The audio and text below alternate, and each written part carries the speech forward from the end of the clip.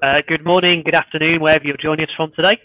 Welcome to this IStructE panel discussion around the theme of persuasion and collaboration. Uh, my name is Will Arnold. I'll be chairing the discussion today. So this discussion is one of three discussion webinars taking place today as we celebrate what would have been the date for the Structural Awards 2020.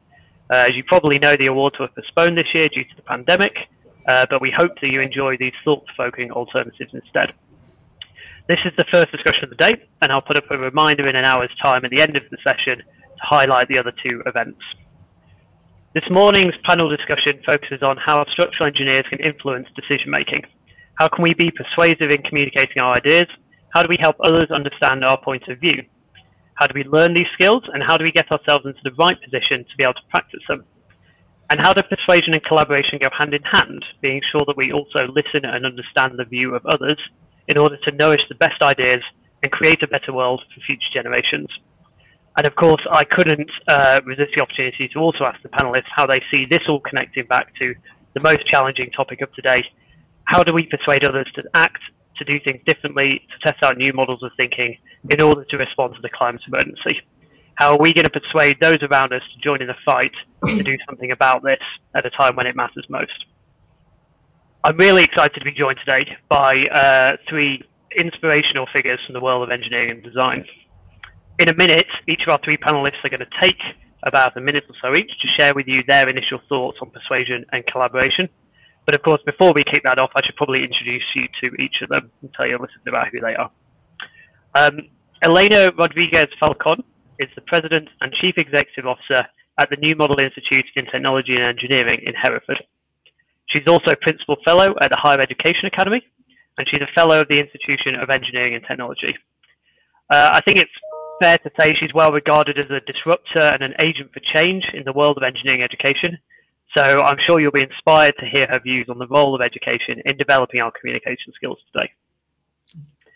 Roma Agrawal is a structural engineer well known for her work on the engineering design of the Shard here in London, as well as her work as an author and a tireless advocate for people underrepresented in the engineering profession.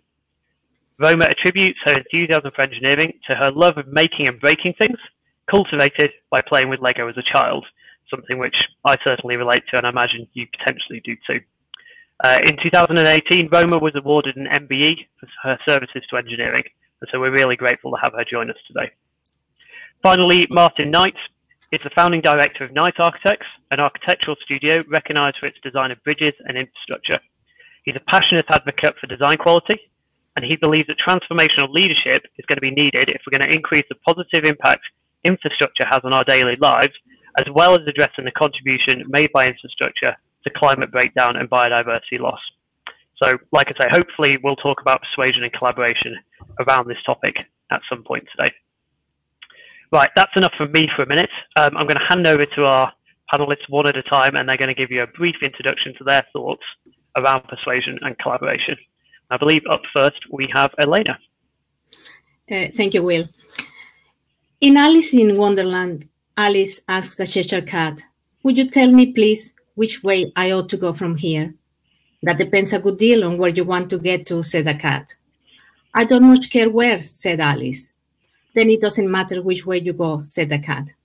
You see, Alice and the cat had a conversation that took Alice nowhere specific. She didn't know what she wanted or didn't care. The cat had an opportunity to influence Alice's choices, but chose not to or didn't know how to. If educators were the cats of Alice's story, would we have the responsibility to show our Alices the way or give them the tools to reach the decision themselves? If the cat is our future engineer, though, should we be training him or her to persuade their stakeholders on the direction that they should choose? Or better even, to walk the pathway the cat engineered and built, just to extend the metaphor a bit. My position on this is that we ought to educate engineering students to have the skill to communicate credible, clear, logical, and ethical arguments, not just technical, and either show or build a way for Alice's of this world. Thank you. Thank you, Elena. Fantastic analogy. Love it. Uh, Roma. Hi there. Thanks so much for having me. So um, this year has been quite a tumultuous one, to say the least, quite chaotic. Um, I've been reflecting a lot on the Black Lives Matter movement, for one. Um, and I think my biggest takeaway from this year is that we need to stop trying to change us as individuals and kind of work on the system. And what my what I mean by this is, you know, I entered the engineering profession. I am a woman. I'm an immigrant. I'm a woman of color, and I came in and into this country, and people thought I was quite loud, quite blunt, quite opinionated, and that's probably exacerbated by the fact that I am in a minority compared to other engineers around the table. Most of the meetings I still attend are, you know, purely men, white men, and me. And what I would like to talk about is how do we create the atmosphere or the environment within which anyone, no matter what their status is, no matter what their strengths are, their skills are, can be put in the position so that they would be listened to, so that they're allowed to influence and persuade people. Um, and that's that is really the key for me is how, how do we create that environment? And I'm sure that's something that we will talk about more. Thank you.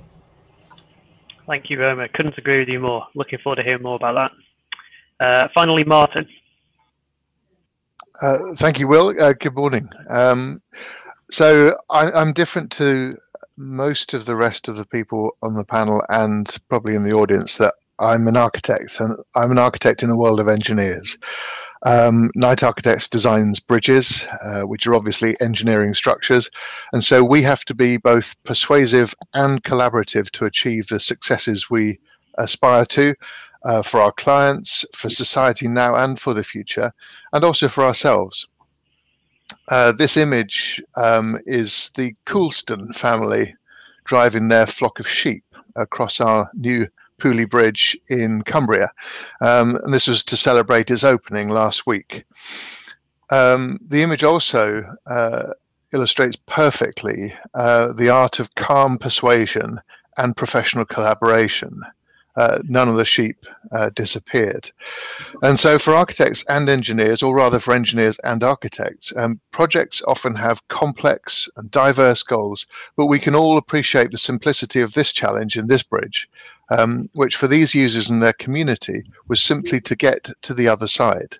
And I think we can learn a lot from this kind of simplicity. Thank you, Martin. Okay, so uh, I am going to stop sharing my screen so that you can all see us as well as being able to hear us. Hopefully that's worked seamlessly. Um, and we will lead into uh, a bit of an open discussion on, on what you've just heard and, and much more. So I'd like to start by posing the question about education, because um, I think we should start at the beginning with all of this. Um, I guess the question is, how do we learn to persuade?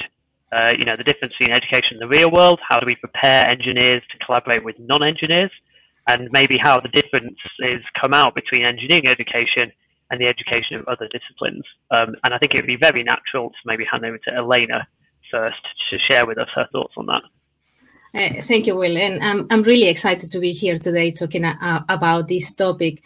So I, I suppose um, that the, the, first natural answer is that we learn to persuade from childhood. Uh, I was reflecting on this uh, as we've been preparing for, for the session. Uh, you, you ask for Christmas presents and you try to persuade Santa that you've been a good kid. You trade at school with other other children, Pokemon cards. I like Pokemon. Uh, however, as as we train formally, uh, we learn to use data that we gather through the design methodology in, in, in the case of engineers to persuade and present the, the solutions, uh, normally via technical reports. Uh, However, educating to persuade requires, in my opinion, learning opportunities that are real, that are authentic, so that we can help our students develop those logical arguments that I was talking about earlier, that can be com communicated simply and succinctly to real audiences. So to do that, uh, we, we really need to provide that kind of environment uh, in, in higher education. And the, the organization that I'm leading uh, to create at the moment, a new higher education institution, uh, that's what we are uh, aiming to do. Bring the real world into the learning space and take the learning into the real world, where context is key and therefore working with people from other sectors, from other disciplines is essential and, uh, and, and understanding the needs of stakeholders is fundamental to, to uh, complete that training and to be able to persuade effectively. Roma, do you do you have anything to add? Maybe I don't know. Do you want to reflect on what happened when you finished education and went out into the real world in the context of what Elena's saying? um, I mean, so one of the things to say is that I actually have a degree in physics and then did a master's in structural engineering. Um, and I, I would say so. You know, we're going back um, 15 years now since I graduated. Um, and my my master's was very very technical so yes we did some projects but the projects we did were all between structural engineers and i am i know that a lot of universities maybe not all of them have moved on from that model of teaching and i think that's extremely important and from an education point of view one thing that i really do think is is missing from a lot of courses i'm not going to say again everyone are stories so when I was researching my book Built, I you know, I was writing about how forces work and how structures work, and, and that was all great. But I suddenly started um, discovering the stories of engineers like Fazlur Khan or like Emily Roebling or Joseph Bazalgette. And we had never studied or I've never heard any of these names throughout my education. And somehow it really humanized engineering for me to hear the stories of actual human beings behind the structures. So I think that's something that I would like to see a lot more of. Um, and on that topic, it's important that the stories that we do teach and that we do share are not just focused on a sort of white Western perspective, because it's very easy to fall into this narrative that the Industrial Revolution was in the West and all the development happened here and all the innovation happened on this side of the world. But you know, it's simply not true. And I think it would make for a much richer educational experience to have all of these very global perspectives included. Yeah, no, really good point. I, I, I'm totally with you on stories as well. I think, you know, for me, Emily Roebling's like perhaps, you know, one of my favorite bridge engineering stories of all time. Um, that's, you know, effectively saved the day on what is now one of the most famous bridges in the world. Um, yeah, great. Uh, Martin, how, how do you do you sort of is it obvious to you in your work the the differences between engineering education and architectural education? Like when we turn up to your office, it, does that just come through from day one? Well, I, I should make the point to begin with that I come to your office, so that's the. Yeah. Uh, that's the, that's the way it works. Um, no, I, I, think, in all honesty, I don't know enough about engineering education, and and probably now uh, about architectural education. Uh, it's been rather a long time, but there there is always this uh, perception that. Um, oh, architects are the great communicators because uh, we're, we're, we're, taught to stand up and defend our designs in crits, and, and somehow that gives us this superpower that is denied to engineers. And I think actually uh, that that's an easy trope and one that is um, is kind of misleading and encourages um, difference and defensiveness um, sometimes. And uh, I, think it's worth sort of exploring that more deeply. Um, and Elena picked up on it. I think that that engineering education uh, very often, uh, it seems to me, can encourage uh, a focus on objective or technical aspects rather than subjective and, and emotional aspects. And um, the in, in the search for the answer, the the the, the one and the, the only solution, and because of that, and because of the lack of nuance in um, a, calculation, it means that it's very difficult then to have a subjective discussion and to be persuasive. It's very difficult to persuade with. Um, I mean, you, arguments are typically made and and and won uh, with with emotional and subjective points of view, and then supported with facts. Uh, you, you, don't win an argument with facts and then back it up with an emotional um, scenario. So I, I, think the the, the, the well-rounded education involves um, much more than the search for, for sort of accuracy and facts. Uh, and in fact, I, I encourage um, uh, accurate guessing. Uh, I think an, an, accurate guess is much more um, time efficient and, and kind of confidence boosting if you get near to the right answer than uh, laboring away at a, a at a, a, calculation for, for weeks at end. Yeah, brilliant. Elena, do you want to respond to any of that? Uh, no, I, you know, I, I, I couldn't agree more. I, I, was thinking about what Martin was saying, and and the way architects learn. Uh, the educational environment uh, is is much more uh, attuned to the real world. Uh, you have an environment where you are, uh, you have a, a, a, a, community project and you bring it to the classroom to train your archi- architects. And that's why you you get that social learning that is much more powerful than in in typical engineering settings. So i, I think i think we we are um, we should all be learning uh, how uh, in, in terms of how architects learn medics learn because they have the opportunity to deal with with real uh, situations. And if you really deal with real situations, you have the ethical uh, responsibility, the professional responsibility to respond with um, powerful and, um, and, and good solutions. Uh, and if you have that, if you have a powerful, good solution, then you can persuade your customers. And you, you talked, Elena, in your intro about the cat, uh, you know, be, being the, the the wayfinder or leading the way and, or maybe answering, well, if you don't know where you're going, does it matter? I mean, do you see the role of educators more along the lines of, you know, teaching young engineers how to do things, or is this about allowing them to get it wrong themselves and forge their own paths?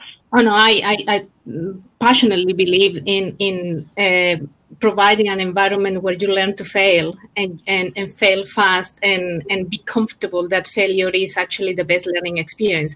Um, I think, uh, unfortunately, traditional education has trained us uh, in through through the way we are examined uh, to try to get it right every time. And Martin was alluding to that with that one solution. There isn't one single solution to problems, and particularly the problems of this world. And and if we uh, continue to to, to train our future engineers with, with that mentality, uh, we are not going to find the, the answer to climate change like uh, you, you were alluding to earlier. So I, I, think learning to, to, to fail and learning to learn are the two most powerful tools that we educators need to use. Yeah, yeah, I agree. Roma, like, does any of this sort of feed into your, your point about uh, helping others to persuade and putting others in an in a, in a position where they they can influence. I mean, I often feel sometimes with graduates they're worried they're going to get it wrong, or they're going to say the wrong thing. They're going to show up the firm. Uh, how do we how do we how do we overcome things like that? How do we do the best we can to put people in that position where they can start to get things wrong? Um, I, I think that's a great question. So I think number one is to you know i talked about creating that the right atmosphere and the right environment for somebody and that needs to start in you know the, the employer so if I'm a graduate, I've joined a company, I want to be able to see through my, my boss, my colleagues, the other people on my team, that internally we are you know floating all kinds of maybe bonkers ideas but you know we're being creative and passionate about things. And yeah we're getting things wrong but we're doing that in a collaborative way and you know poking holes in each other's statements. Um, i think there's a bit of disconnection that we need to bring in so that we can very freely and openly critique an idea. That doesn't mean be rude about it, but it means we should be able to critique an idea for the idea itself rather than if I, you know, if I float something and Martin says, oh, you know, can you see all these things that are wrong with it? And I say, yeah, let's talk about the idea and not take it personally and not think that that's a reflection on me and my skills. Um, and that requires confidence. Um, so again, I kind of come back to the employers themselves, so you know all the people in the audience today who are line managing people who own their own practices, should be really thinking about how do I create an atmosphere in which everyone is really comfortable and really can just be themselves. Yeah, no, re- really, really good point. M- Martin, how does that? I mean, what works well for you in in the design environments on this topic? Um, per- personally, being there at the beginning of the discussion um, and having everyone uh, who, who's likely to influence a project being being available at the outset, so that shared objectives um, are, are sort of seeded in a project very early on, and then everyone doesn't have to be participant all the way through, but they, they understand what the shared objective was and they can see the direction of travel as, as they come back to uh, and return to a project. And there is a there's a real uh, danger that there's sort of um, the strong sense of authorship or personal um, investment in a project um, means that some somebody cannot change their view and they cannot pivot towards a, a better solution that that somebody brings in. But equally, you, you need to um, converge ultimately on on the right solution. Um, I, I, I, do think the um, providing as an employer providing a, an environment that is um, comfortable and um, encourages people to uh, express themselves and to come up with ideas and not to feel that they may say the wrong thing is really important. And in all honesty, um, certainly my practice does that, and almost everybody we work with does that. I think, I think generally we're quite good at it, but where it, where it tends to fail is over time uh, and uh, uh and how how that kind of um, encouragement is is maintained over time.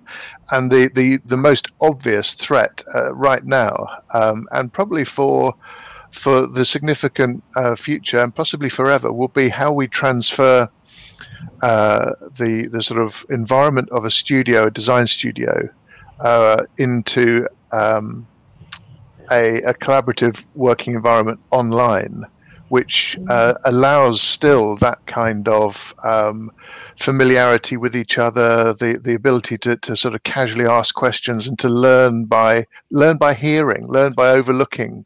That that kind of um, osmosis of, of learning, um, of being part of a, a team, is really important.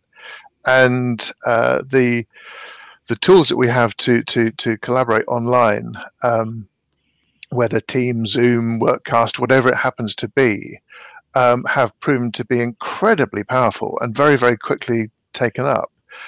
But they're still in their infancy, and we're not really um, yet able to uh, re- replicate that sort of environment of, of kind of immersive learning and, and, and support that um, being physically in a studio provides. Yeah, yeah.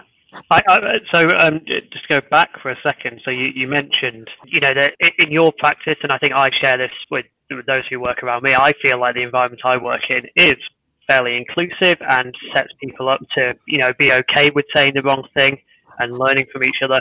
But it, but it does strike me that maybe, you know, it's easier to convince ourselves of that that it is that it is to convince ourselves that there's room for improvement. So, you know, if you were to offer advice to people listening on, uh, you know, maybe they're questioning how well it's this is working now that they are doing everything electronically, everything's remote. They're trying to still set up their young graduates to ask the right questions and you know and, and not be afraid of failure. Do you have any sort of tips for people to try and you know test the waters with themselves to see how well they're doing in, in terms of that open, inclusive environment? Or any thoughts on that? Um, I, I can start, but I might take a, you know, a little step further back um, before I, looking at your question.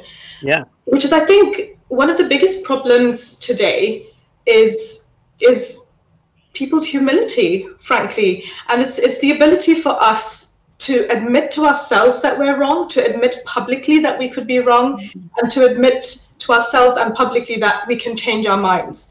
And at the moment, it feels like, you know, and I'm talking from a kind of big political worldview type of situation, that this is a very difficult thing. People become entrenched in a particular position, and then it, it becomes like a failure if they've changed their mind or you know decided something's wrong. So, so that word humility has been a big one for me this year, and it's about leaders sitting down with people from all different backgrounds and denominations, and really actually listening and really saying, I want to learn, I want to be better, and there are points of view which are different than mine that are correct and that are valid, and giving those due volume. Um, you know, as a woman of color, I've, I've also been one of the youngest people on my teams in general. I've worked for three different companies during my career. I'm currently self employed. Um, I have been in countless situations where I feel that what I'm saying or the perspective I'm offering or the voice that I'm using is not very welcome in the room.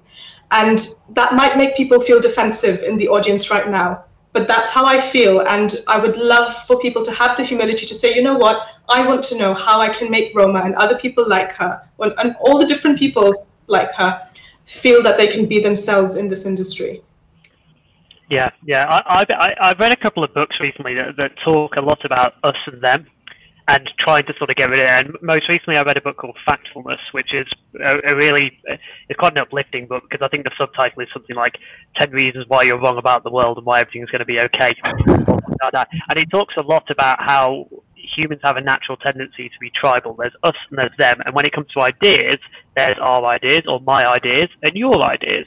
And so people's natural attachment often is to, well, say, well, that's my idea. I should defend it and keep defending it. And, you know, to, to then admit that actually maybe their idea is, is better or more advantageous or better aligned with the client's aspirations can take quite a lot of courage, I think, to get get into that get into that practice. Um, Just to maybe add on that, I think that doing that actually establishes a level of credibility because what it shows is that as a designer and engineer you are open to ideas you are open to listening and and then added to that if, if you simply just do what you say you are going to do deliver on time and so on if you can create that kind of honest authentic relationship and people see you for who you are which is every single one of us is a flawed human being and we all have ideas which can be improved and if, if we can be humble and accept that and we can project that to other people i think that that builds a huge level of trust which then feeds into this whole idea of persuasion and collaboration. It's much easier for somebody mm. to believe me for ideas number three, four, and five if they trust me.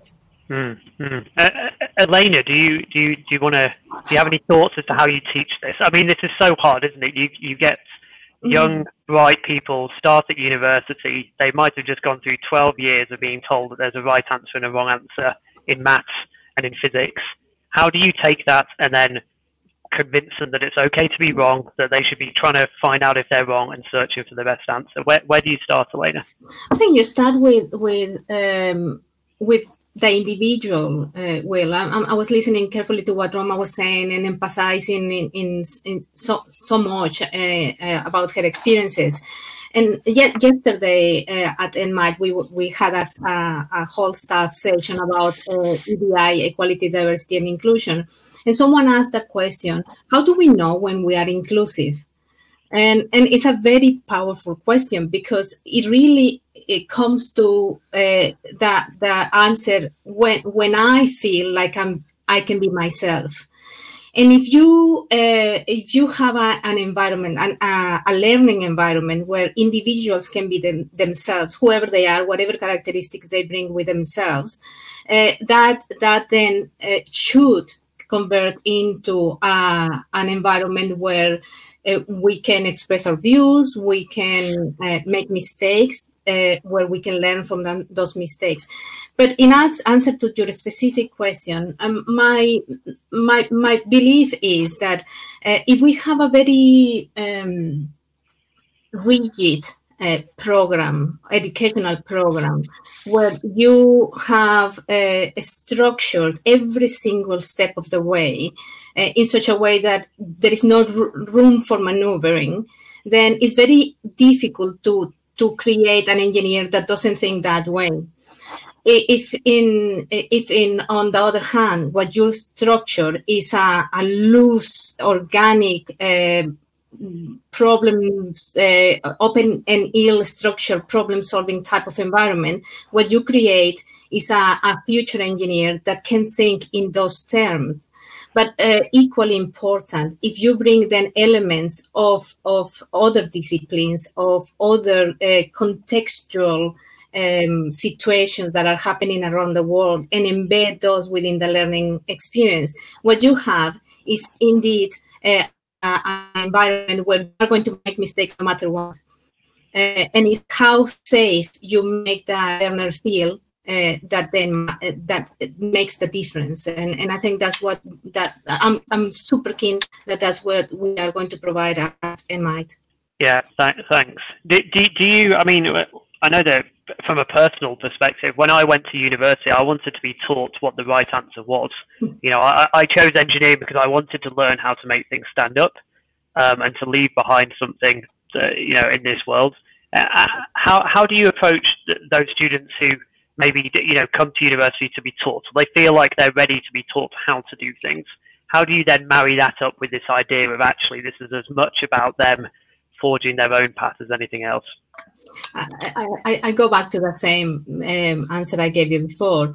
Um, you you have to present um, learners with open-ended questions. Uh, if you give uh, closed questions where there is a yes or a no answer, then that's what you train the engineer to to encounter. But life is not like that, uh, and and and that's why bringing employers like Martin, like others, into into learning experiences where they have their own criteria, their own expectations, where they have uh, restrictions like financial restrictions. When you have uh, ethical considerations, whether uh, your answer might end up killing people, for example, the bridge is going to fall apart if if you don't think of various of various uh, considerations. Uh, I, I, I do believe that um, ultimately you have to reach an optimal answer, but that optimal answer can take different shapes. And if you have, for example, different groups coming up with, with different answers, and, and that's why project based learning is so important, um, then you can demonstrate to each one of those learners that you can reach uh, an optimal conclusion that actually can take different shapes. Um, Martin, um, I, am quite interested to keep going on this this idea of being wrong and discovering if we're wrong. And of course, you can critique other people uh, quite easily, but I, th- I find what's really hard is to critique yourself. Um, and well, the best architects I think of are very good at that. So, how do you go about doing that as an architectural team?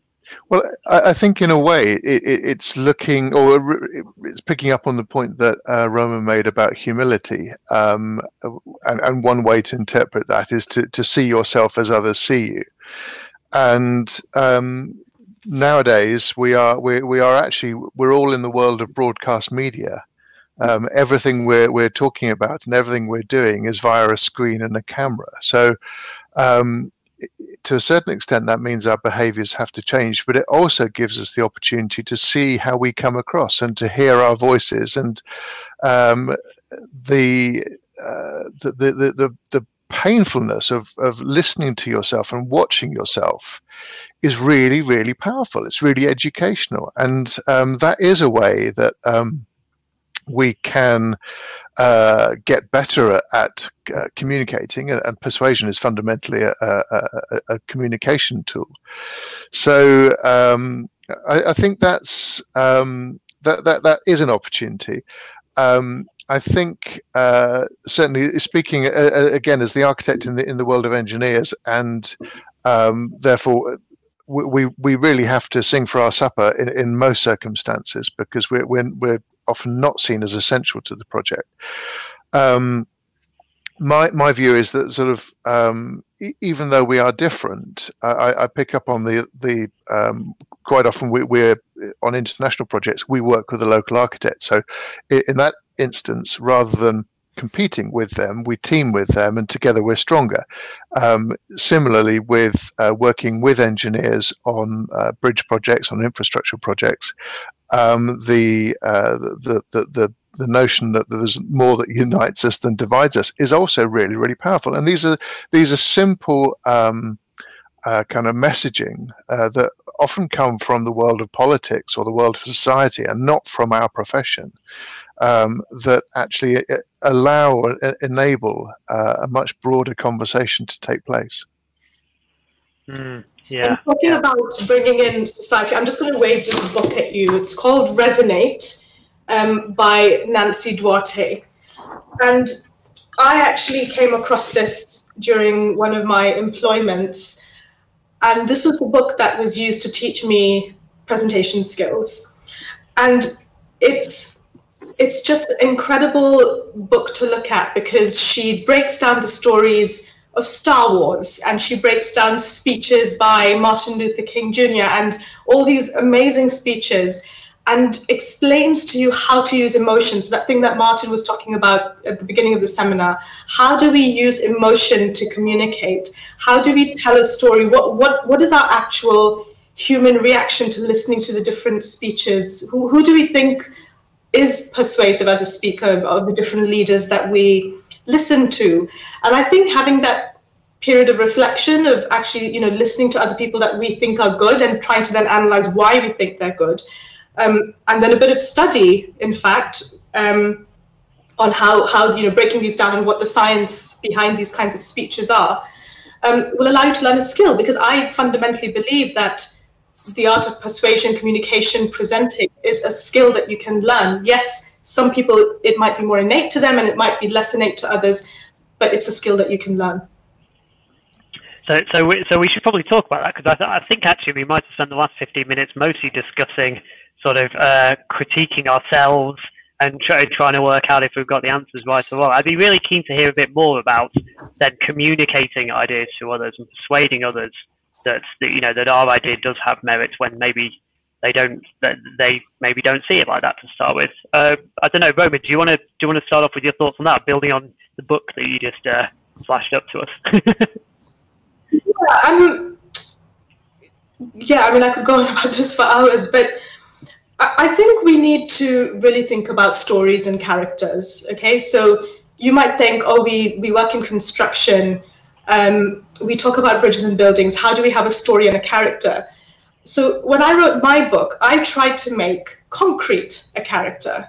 I gave concrete texture, sound, a voice, um, a personality, different types of personalities. Um, and I think what I've learned from that book is that anything can be a story or a character. Um, so that's one thing that I think engineers can really think about is how do you kind of give personality and character to the ideas that you're trying to communicate. Um, and then the second one is about using a common language. I think engineers very quickly and easily, and I still do, this till today, even though I regularly present to five-year-olds about engineering, we slip into jargon. We start using words that nobody outside engineering understands. Um, and we have to check ourselves. Again, it's about having the humility to say that person is not stupid or ill-educated for not knowing this language. It's my fault. I'm the one who's wrong to be using that language in the first place. So I need to break that down um, and communicate more clearly. Um, and I think one of the biggest, if I'm talking really practically, one of the biggest tools at our disposal is a pen and paper. So it's, it's drawing, it's sketching. So this is how I plan um, my book chapters, and this is what I send to my editors and agents to say, you know, what do you think of this structure?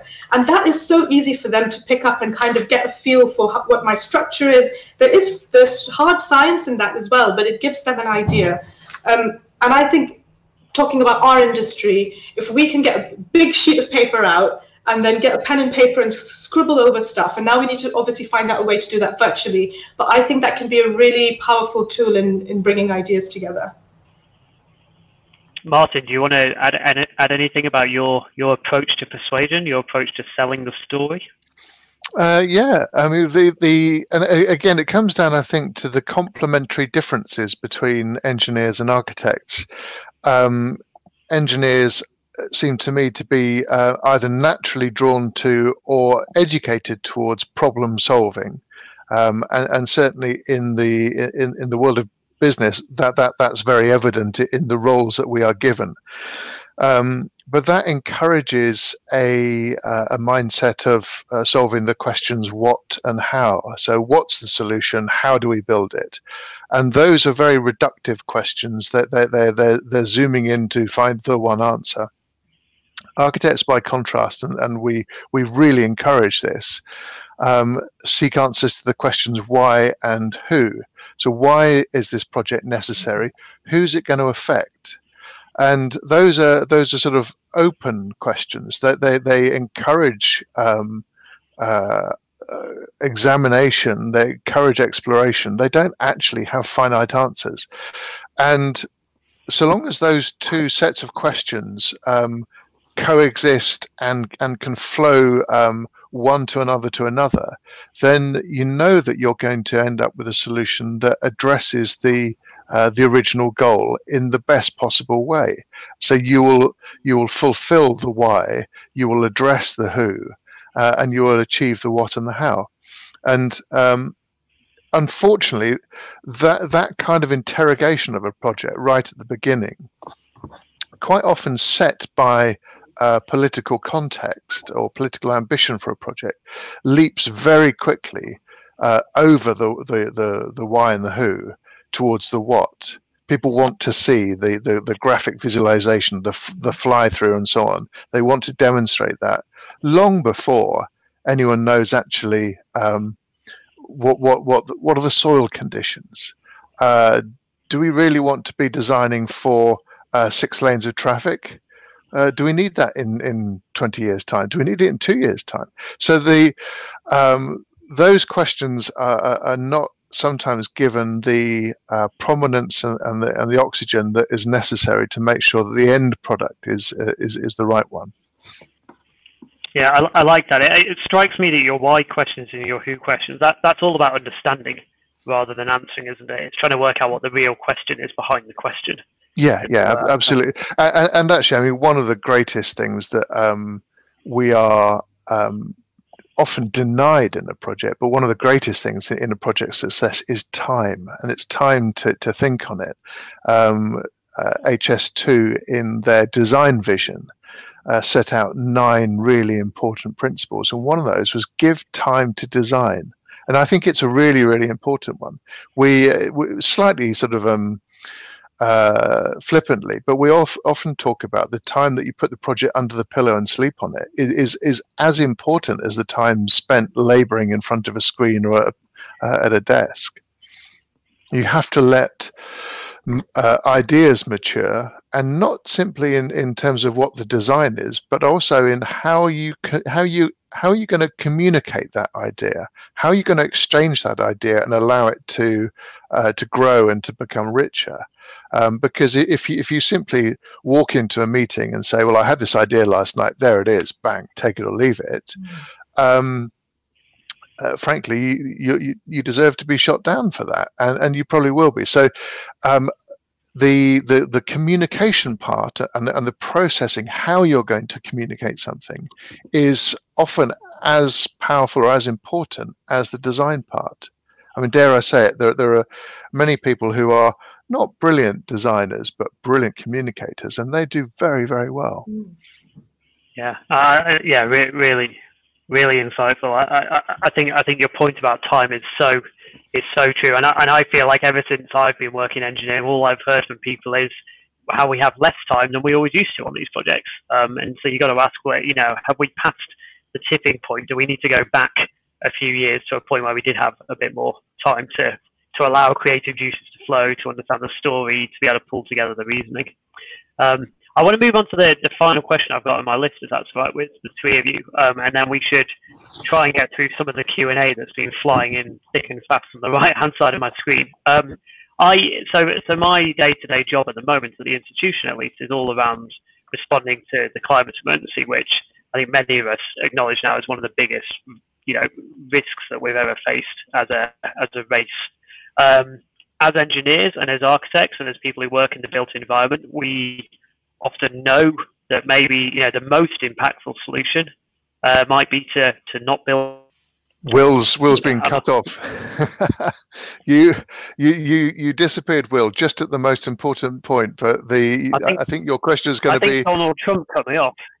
yeah, it was it was just at the point of um, the, the the question of whether we build. Um, and I think that's a really is a really vital and really important one.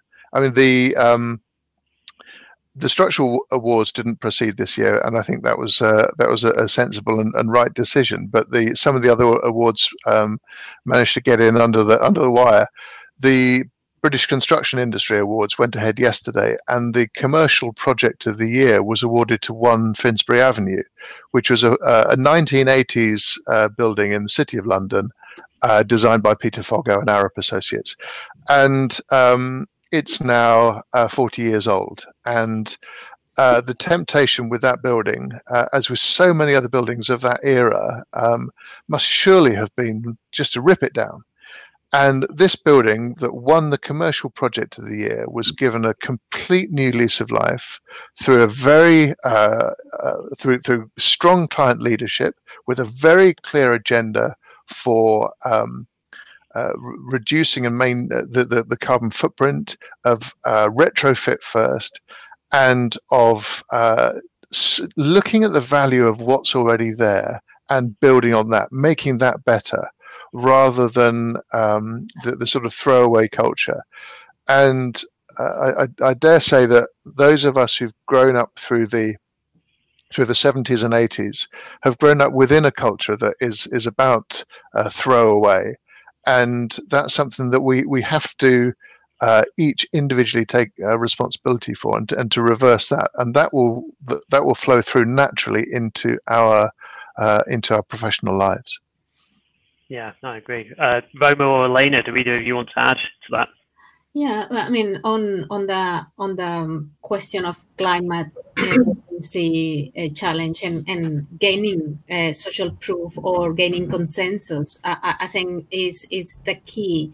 Uh, the data has been divisive for, for a long time, and at the beginning of, of the first lockdown, it, it, we were gaining momentum with protests around the world, people uh, beginning to to accept that something is actually happening. And, and I think uh, persuasion here is important. Uh, that uh, that skill to persuade is so important. Um, so I uh, I agree with with Martin that each one of us has a, a role to play. As an educator, um, uh, I think all of us who are training future professionals, whether they are engineers, architects, or, or, or whoever, um, we we we ought to ensure that our, our narrative, our um, our context is filled with with the challenges that the future challenges. So that uh, not only we have uh, aware uh, engineers but also engineers that are thinking constantly about uh, the problems looking for solutions themselves whilst they are learning and so when they they leave our classrooms and enter the world. They are uh, professional, uh, aware engineers who are solving those problems. So I, I think there is a, a, role for all of us to play as educators, as individuals, as future engineers. Mm-hmm. Um, yeah, I've got a few points, and I think again I'm going to kind of take a, a, slight, a bit of a step back. I think, um, and and th- this is not my original thinking. This is something that I've read somewhere. Um, but we have to change. So coming back to storytelling, we have to change the story. We're not trying to save the planet. We're trying to save ourselves because the planet will be fine. You know, we, we will wreak our destruction. Humans will end up dying out. And then in 100,000 years, the planet's going to be fine again. So I think there's there's a change in narrative. Like it's much easier to persuade someone to do something for themselves rather than for this kind of big um, you know concept that feels perhaps a little bit alien sometimes so i think that's one way that we can change the story and the way we talk about this issue and the second thing i wanted to say was that we need to look to communities around the world um, we need to acknowledge that the West are the biggest produ producers of carbon per capita.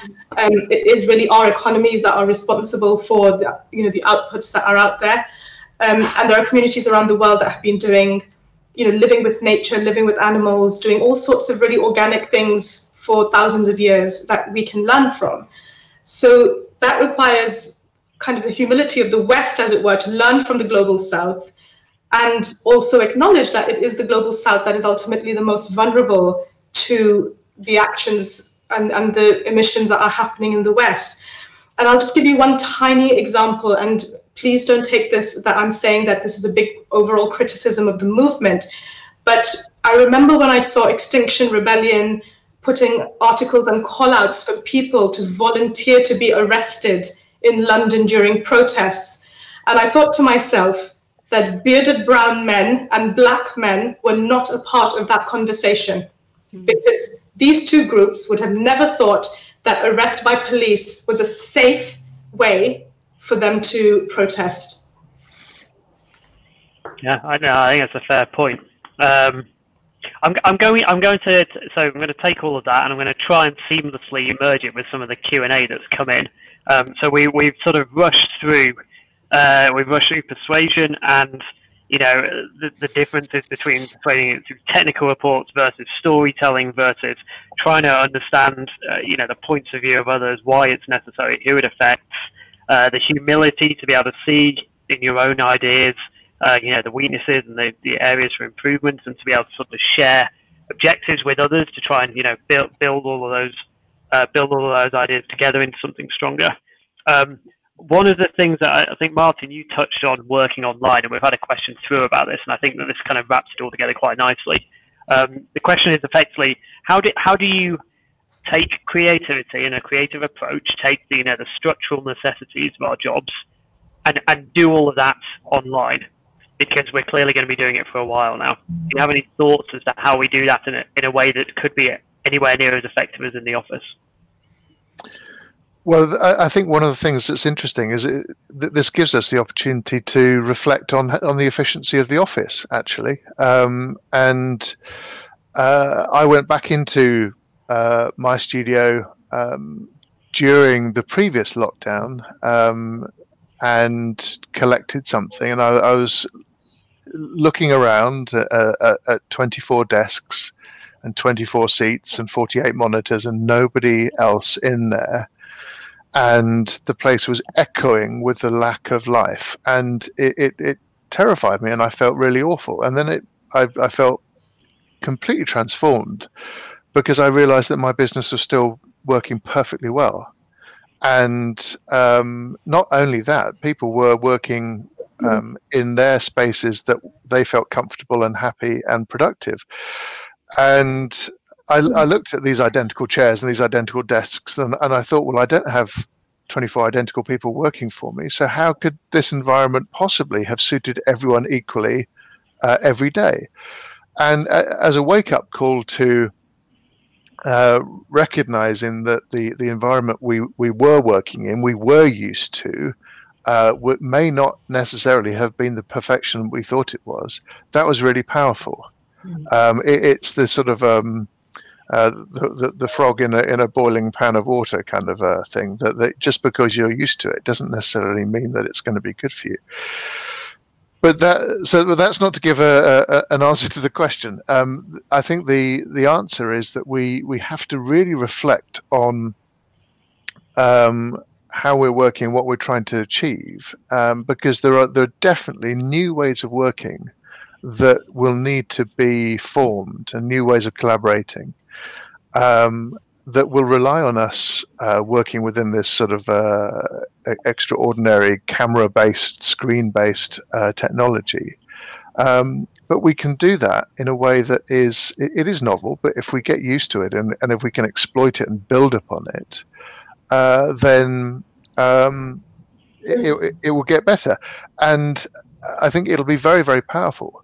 But the, the thing is to, to recognize that um, what we had before was not necessarily perfection.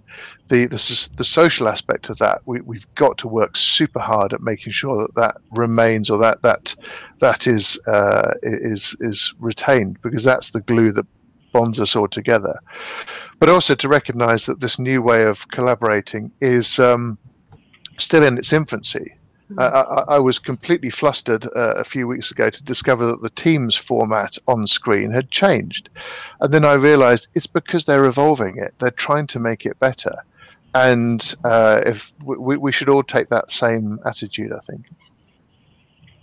Yeah, so good, good answer. Um, I think yeah, taking advantage of the situation and seeing it as an opportunity and acknowledging that, like you say, that like that not everybody needs to work in an office five days a week with two monitors and the same high chair. Um, doesn't work for everyone, and trying to make the most out of this situation, I think, is a good way to good way to frame it. One um, thing that I want to add to that, um, well, if you don't mind, is that, that yeah. there's a lot of um, articles and data and research being done, or particularly on the effect of women of working from home. And it's not good data because women still tend to do the majority of the housework, the majority of the childcare, the majority of the caring responsibilities. And working from home is showing to adversely affect women's mental health. And it, there's also data showing that women are spoken over more in conference calls online, or you know, people who are introverted will be less likely to put their hand up or say something. So while I totally agree that there are great opportunities in this, and I totally agree that the office doesn't suit everybody, we have to be very careful, especially in our industry, that the groups who are already in the minority don't get further marginalized. Yeah, I completely agree, and, and I've seen people do this poorly and and well. I've, you know, there are there are meetings I've been in where the the view has always been you put your hand up using the Teams hand up function and you wait your turn. And I mean that for me that's great leveler. It means that the chief exec has to wait for everyone else because they put their hand up first. Um, and I think Martin's point was one of uh, recognizing that different people want different working environments, wasn't it? Mm-hmm. And if uh, you know, like you say, it's not beneficial for everyone to work at home all the time. And um, yeah, I, I, think learning how to deal with that flexibility is is definitely something we need to take forward. Will, if, if you don't mind, in the world of education, um, is is challenging because, of course, um, not we, ought to consider uh, that the impacts of, of, of social justice. Not everyone has technology available to them, and uh, that that is beginning to to to be more noticeable in in the world of education. You are trying to educate uh, not only through through this this methodology which actually works very well. I, I was just uh, listening to to martin martin and roma and, and indeed yourself and i'm thinking right now i'm learning uh, and that's what education is learning. And i'm learning from from all of you. I'm learning from the questions you're you are posing. So that that that's fine. Uh, hands-on learning is a bit more troubling but we'll get there as well. Uh, the problem is what happens if you don't have access to the tools? And then you as as roma has highlighted throughout her conversation today you then uh, marginalize people who are already uh, at the at the fringes of of, the, of education or work or, or, or other circumstances, and that that is something very serious, and we need to together find a way forward. Absolutely. Um, I, I, have to take note of the time. We have two minutes left, and I've completely failed in my role as a chair to try and get anywhere near answering the 14 very good questions on my screen. I think we might have done one, and we we we started to touch on teaching and the influence on that of teaching online. So maybe we can say we've ticked off one and a half. I'd like, if you don't mind, to try and just hit a third question. So I'm going to put this to each of you because somebody's asking for top three tips, and given that there's three of you, that would be quite a nice way to finish, wouldn't it? So uh, I wonder if each of us could think, what's your top one tip for creating a positive environment in the workplace where people challenge each other in a beneficial way? I don't know who wants to go first. I'm going to leave it to you to fight over it when you find okay i'll, I'll go first uh, and see if, if i if i capture the, the question. Top three tips to uh, enable a, a, a place uh, a workplace where you can challenge each other. Uh, I, I, think uh, i want to i want to it's a cop out because i think what roma said is very important. Humility. Uh, so listening listening accepting critical feedback uh, and, and, certainly, uh, what I always say to every single member of staff who joins and might, uh, here you have permission to make mistakes.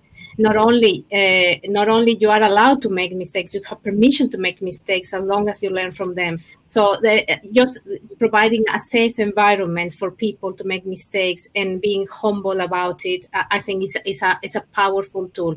Empathy Fantastic. Thank you. Roma, what's your top? Well, Elena has stolen my answer, so you're in trouble now. what would be your number two?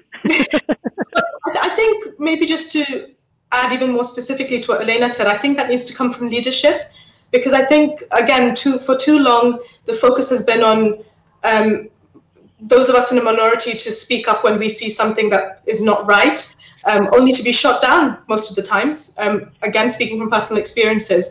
But if the leadership shows that that kind of behavior is not acceptable mm-hmm. and what kind of behavior is acceptable, um, then then you've got a winner. Like right now, I absolutely would work for Elena or for Martin. Had you know, wouldn't have to think about it twice. Come, come, Roma. and by the way, uh, he's not going to show you the book. book.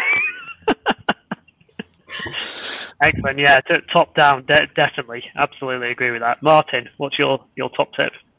Um, I, I, I, genuinely have nothing to add to that. I, I think um, e- empathy is the most powerful thing that, as designers, we can bring to any conversation. and strong uh, leadership uh, can actually be very quiet leadership as well. Um, but but it needs to uh, embrace everyone and to give everyone the the opportunity to shine. Fantastic. Okay, so we have humility, empathy, and and coming from the top. I think that's a nice a, a nice three points to, to finish the session on. So, so maybe um, not to make this too political, but maybe let's look at Jacinda Ardern. I think there's a lot to learn from her. yes, absolutely, absolutely. So um, I, I want to. I, I, mean, I should say thank you firstly to the three of you for giving up your your morning to to come and give us your thoughts. I mean. I, I think the fact that we didn't manage to squeeze in enough questions at the end just shows how much you all have to share and I think most of the audience would agree that if we were to keep going for another hour, we probably wouldn't find we really lost anyone. Um, but I appreciate that you're probably all too busy to do that. So I, will try and wrap up the session briefly. Um, I think it's you know really good to hear about, uh, like you say, humility and empathy, and using those to create an environment around us where people are allowed to put their ideas forward. I think encouraging others to persuade is you know surely as important as learning how to persuade ourselves and how to be better persuaders because we're all surrounded by a team at the end of the day, and it's you know it's only going to get you so far if you're very good at arguing your point. Um, clearly, we, we all know the reason we work in teams on these on these big projects is because it takes that that width of ideas and that diversity of opinions. So trying to harness everybody else's opinions, I think I think if that's the one message that's come across in the last hour, it's about that. It's about harnessing the group's views, trying to understand it, trying to help people open with their ideas um, and trying to take that towards something with a with a common goal for the benefit benefit of everyone.